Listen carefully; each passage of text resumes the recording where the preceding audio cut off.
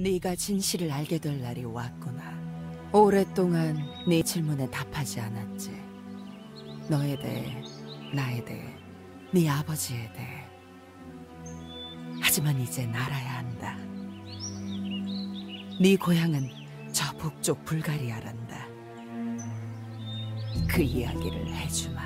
한때 콘스탄틴이라는 강력한 귀족이 반군을 이끌고 불가리아의 수도 터르노브로 진군했지. 당시 차르는 왕좌를 찬탈한 살인자였고 자신의 아들 이반과 함께 로마 황제의 궁정으로 도망쳤다. 보야르라고 불리는 불가리아의 대귀족들은 콘스탄틴을 차르라고 선언했다. 새로운 차르는 불가리아의 평화를 가져왔고 황제의 조카 딸과 결혼했으며 로마 통치자의 딸과 외눈의 몽골 칸 사이에 결혼도 주선했다. 허나 사람은 늑대처럼 약점을 파고들기에 평화는 오래가지 못할 운명이었지. 말을 타다 떨어져 다리와 등뼈가 부러져 불구가 된 차르는 왕국이 무전부 상태가 되어가는 걸 지켜볼 수밖에 없었어. 타타르의 습격대가 땅을 침범했고 보야르들은 자신들의 힘을 키우는 데 바빴지. 습격대들이 두려웠던 농민들은 보야르의 학점을 받아들였어. 이 운명을 바꾼 건 전혀 뜻밖의 인물이었지. 작은 마을에서 돼지를 키우던 손엔 굳은 살이 박혀 있었고 햇볕에 상한 얼굴을 가진 그저 평범한 동네 일꾼이었다. 하지만 그는 뭔가 달랐어. 사람들이 타타르족에 저항하도록 독려했고 민병대를 지휘하여 마을을 지키면서 직접 행동으로 보여주었어. 그의 성공은 얼마 안 가서 훨씬 강한 권력을 지닌 무자비한 자들의 관심을 끌게 되었지. 때로는 다른 사람의 행동이 과감한 선택을 하게 만드는 법이지. 이바일로가 그랬다. 의도가 무엇이었건 그가 이끄는 민병대는 계속 커져갔어. 그것은 분노 그 자체이자 복수였지. 지주들에게 거역한 농민들은 증오하는 귀족들에게도 복수했지. 귀족들의 가족을 살해하고 붉게 달궈진 바늘로 귀족의 눈을 멀게 했어. 콘스탄틴은 이바일로가 직접 죽였다고 전해졌어. 차르의 잘린 머리는 한 기병에 의해 수도인 터르노브로 운반되었지. 거기에는 황후인 마리아와 일곱 살 난 왕자가 있었지. 남편이 살해당하자 황후는 혼란에 빠진 국가를 통치했어. 이런 일은 아무리 유능한 차르라도 어려운 일이었겠지만 이 검은 머리의 그리스인 공주는 남자보다 나았어. 아름다우면서 교활한 마리아 팔라이올로기나 칸타쿠제나는 콘스탄티노플에서 가장 위대한 두 가문의 딸이었지. 황제였던 삼촌의 명령에 따라 차르와 결혼했지만 그녀의 비잔티움식 책략은 남편에게 큰 이득이 되었지. 라이벌 보야르가 콘스탄틴의 통치를 위협하자 마리아는 그를 아들이자 후계자로 입양하겠다고 제안했지. 보야르는 제안을 받아들이고 차르의 궁정에 들어갔지만 이내 시체로 발견되었다. 독살이었지. 하지만 바깥에서는 반란이 일어나고 궁정에선 보야르들이 계략을 꾸미자 마리아는 권력을 유지할 모든 수단을 동원해야 했어. 가장 큰 위협은 바로 그녀의 삼촌이 불러왔지. 완고한 로마 황제 미하일 팔레올로고스는 조카 딸에게 굴복을 요구했어.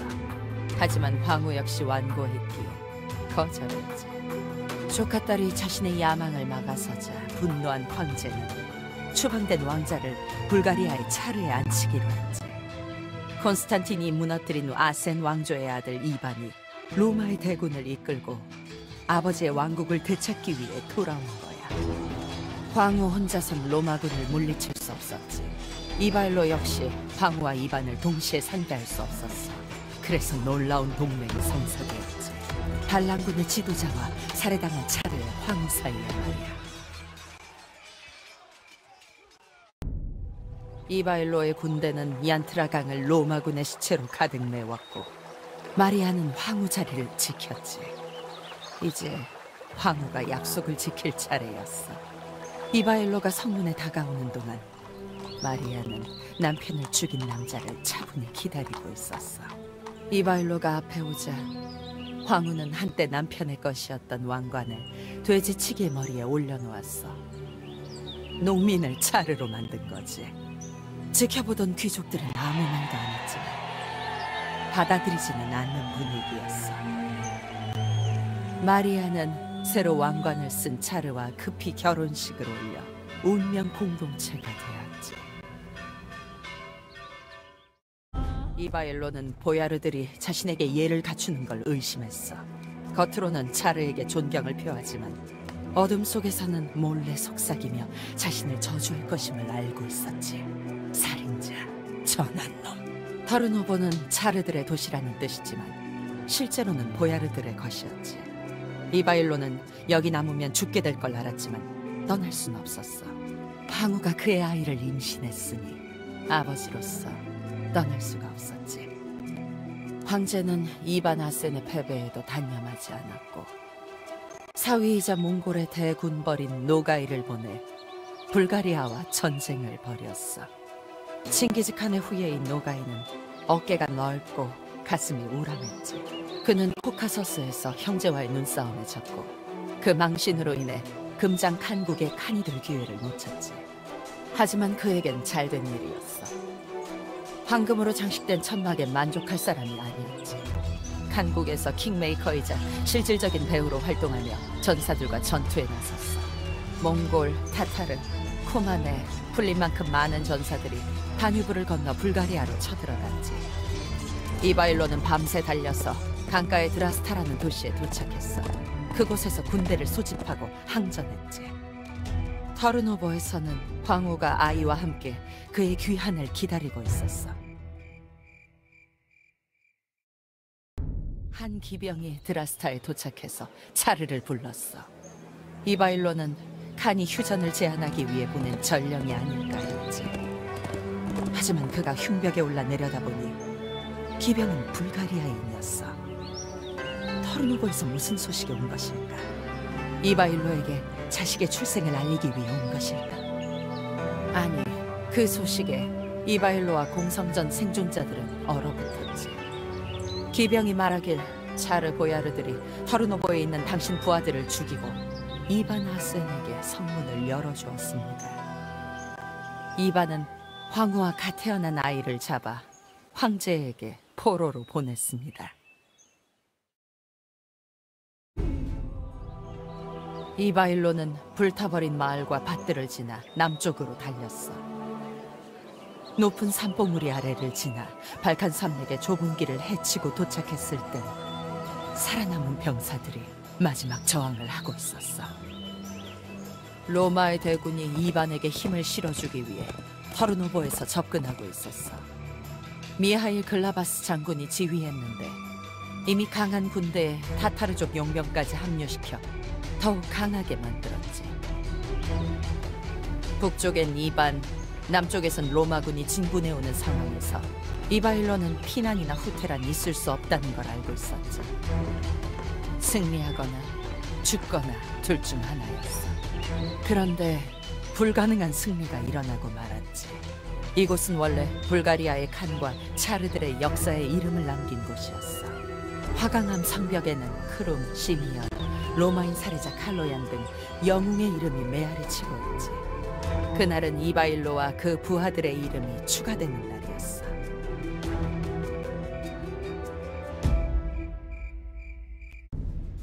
코텔 고개에서 거둔 승리가 이반을 공포에 빠뜨렸어. 그는 터르노보를 버리고 황제에게 도망갔지. 황제는 위로를 베풀지 않았어. 터르노보에서는 보야르들이 차르의 빈자리를 발견하자마자 그 자리를 놓고 다투기 시작했어. 그 중에 현명한 보야르들은 나머지에게 이 나라가 아직 몽골과 로마의 위협을 받고 있다는 것을 일깨워 주었지. 불가리아는 안정이 필요했어. 모든 보야르들이 하나의 깃발 아래 뭉쳐야 했지. 보야르들은 그들 사이에서 국가를 방어하고 통합할 전사를 찾아냈지. 전설의 쿠만 전사 코티안이 속한 부족의 후예였어. 그들은 게오르기 테르테르를 차르로 선택했어.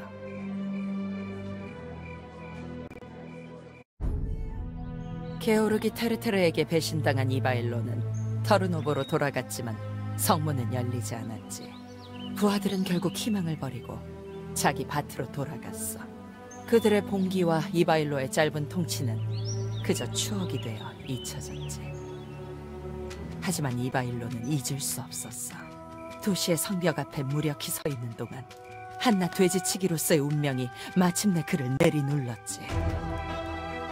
그는 모든 역경을 헤쳐왔어. 단순히 차르, 칸, 황제에게 도전한 것이 아니라 세계의 질서를 흐트러뜨렸어. 왕들을 쓰러뜨리고 사람들을 자유롭게 했지. 이런 생각들을 하며 이바일로는 인생 최대의 결단을 내렸어. 야망의 눈이 멀었는지 희망의 눈이 멀었는지 자신의 적에게 도움을 청했지. 그는 외눈의 왕 눈먼 자들의 세상에서 구원을 찾았어.